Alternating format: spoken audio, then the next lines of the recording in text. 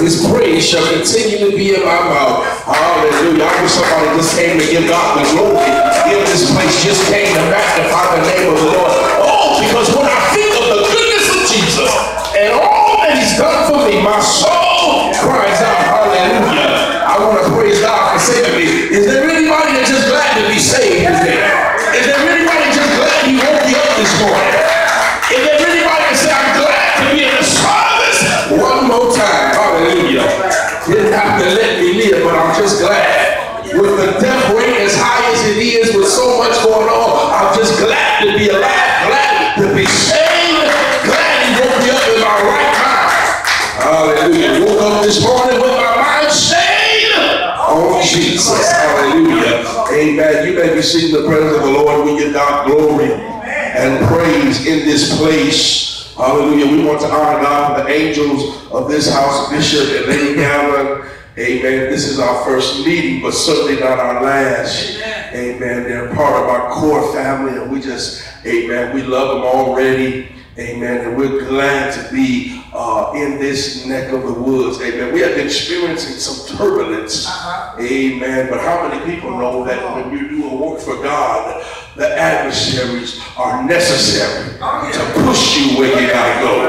Hallelujah. Amen. A sign of struggle does not scare me. It is the confirmation that I heard from the Lord. Uh, because where there is no anointing, there's no devil. Uh, y'all ain't talking to me in this place. I say, well, there is no there is no devil. You know there's not the presence of the anointing. Uh, but if there's an anointing, if there's a move of God, then you know Satan is present to try and to throw and to stop what God is doing. But somebody just declared no weapon formed against me shall prosper. Hallelujah. Oh, I feel like giving God glory in this place. Hallelujah. Oh, thank you, Jesus.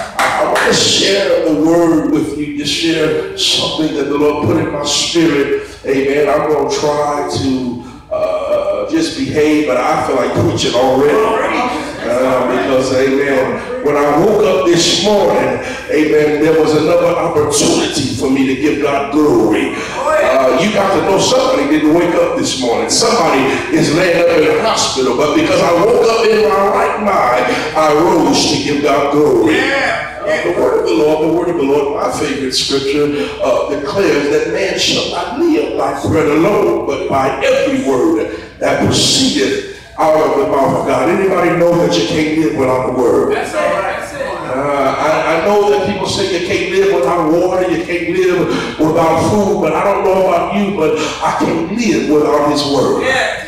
Amen. So I want to share just a little bit. Uh, let's go over to a familiar passage of scriptures. Uh, let's go to Hebrews chapter 11. We'll also dig over in Romans, the fifth chapter. When you get it, respond by saying amen. Hebrews chapter uh, number 11. I'm going to read one verse, which is uh, verse number one, and the word of the Lord declares, Now faith is the substance of things hoped for, the evidence of things not seen.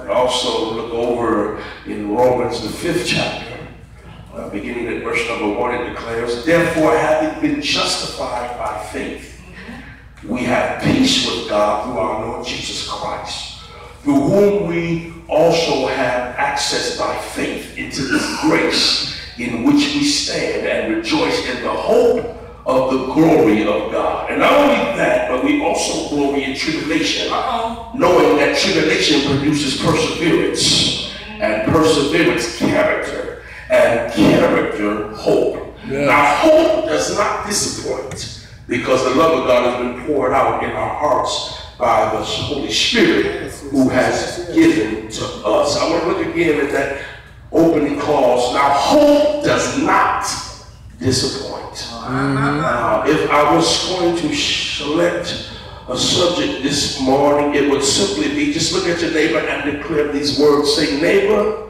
Neighbor, whatever you do, whatever you do, don't lose hope. don't lose hope. Uh, Uh, you want to look at somebody else and just declare, whatever you do, Whatever you do, don't lose don't lose hope. hope. Father, in the name of Jesus, we give you glory, we give you praise, we give you honor in this place. We honor your presence and your power today, God. Illuminate this place with your glory. Yes, yes. Release now the anointing that's over your word today. Let every burden be removed, let every yoke be destroyed. Send now healing today, God. Touch every soul assembled in this place today, God. Lift up every hung down head. And God, we give you glory today.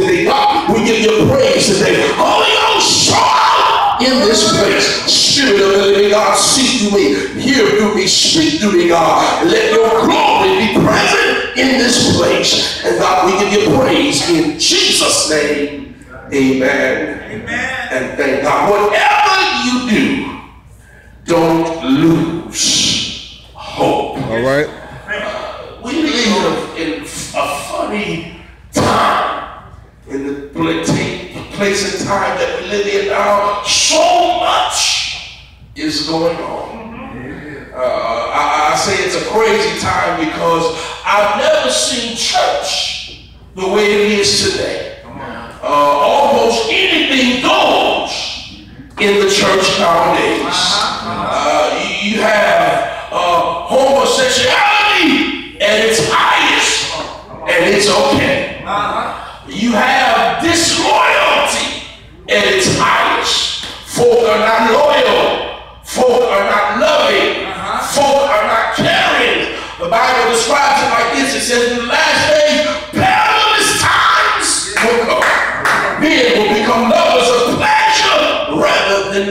than of God. Never seen the time when folk don't even want to hear the truth.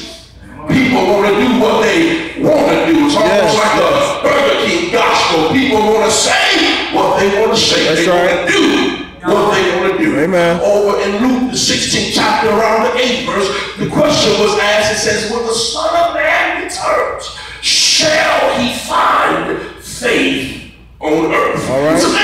To me that a lot of people claim to know God but don't believe God. It's amazing to me how they claim to have relationship, but they don't trust God. Uh, we try to make our own thing happen. You got a lot of people that's working their own thing. They call it God. They say that they've been called by God, but when you look at their actions, they're doing their own thing. Yes, Uh, yes. They're doing it their own way. They're trying to make their own somebody uh, that God does not need your help when He decides Yes, He's going yes. to do something. Uh, it's His way or no way. That's right. Uh, it's amazing to me that a lot of people have not known the way of God. They go their own way and they're calling it God. That's right. That's right. Uh, in a That's right. time where prophecy is at an all-time high, people are fascinated by prophecy. But you know what's interesting to me, Bishop? People are fascinated because folk can prophesy, but they're prophesying without the accompany of the power of God. Yes, yes, Uh, yes. Just because somebody can tell you an address, or just because somebody can tell you about something that may be accurate in your life, does not mean it's accompanied by the power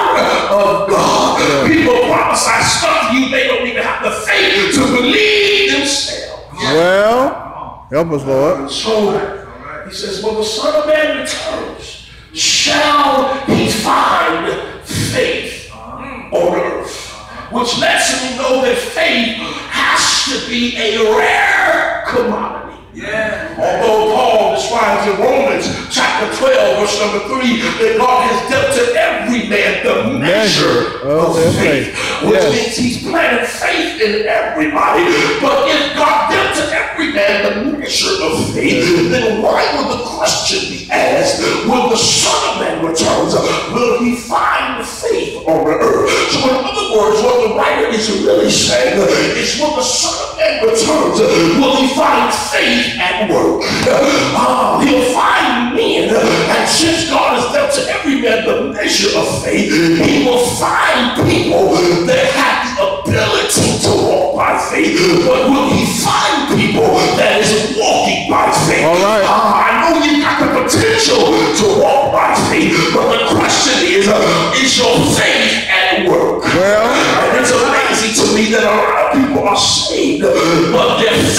is at work. Uh, the writer says in Proverbs 3 that we are to trust in the Lord with all of our heart, which we acknowledge him in all of our ways and lean not to our own understanding. Uh, in other words, what he's saying now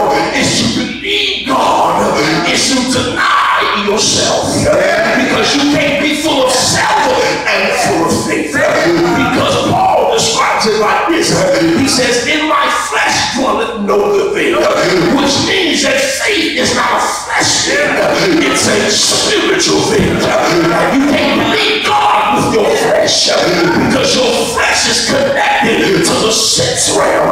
And you can't understand God by your senses because He's liable to give you a command that makes no sense at all. Just like He told Abraham, He says, I'm going to give you a child. His wife is buried and they're old. Ah, but he asked the question in Genesis 18. He says, Is there anything too hard for God? Just touch your neighbor and say, Is there anything too hard? Is there anything too hard? I don't So now, faith is not carnal, it's spiritual. And so if you're carnal, it's going to limit your faith. Faith is a spiritual thing, which is why so many people have a hard time walking by faith. Paul says it like this. He says, For we walk by faith and not by sight. Ah, so now if I'm going to believe God, I've got to believe God with my spirit. And so I've got to be spiritual minded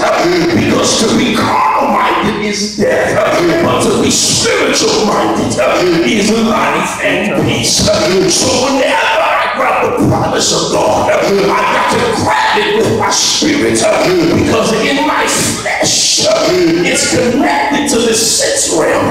So it will reject the promise because flesh can't figure out how God's going to do what he said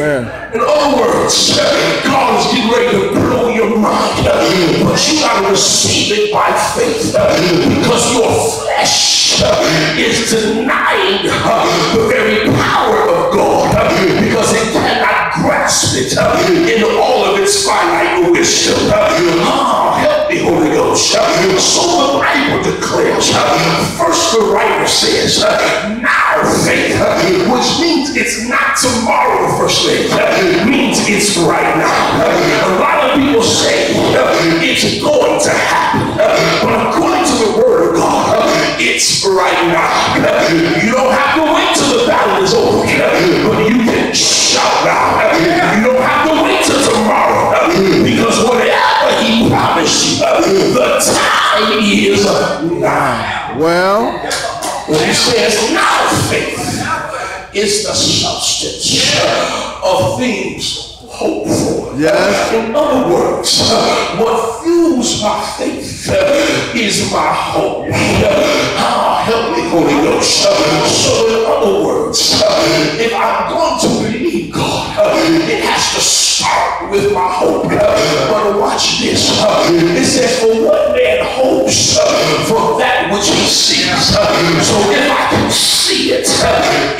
our hope.